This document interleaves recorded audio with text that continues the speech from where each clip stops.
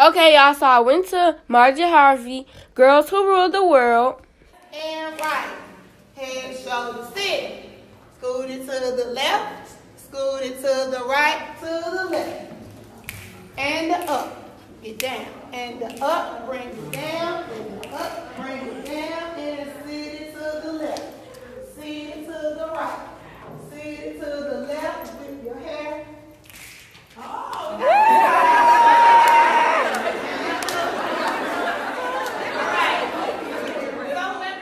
Hotel was so cute.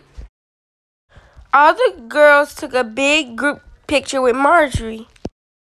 I had so much fun because I ate some food, and y'all know I love food. No, but for real though, this was a very great empowerment. The cake was so good. That's what we had for lunch.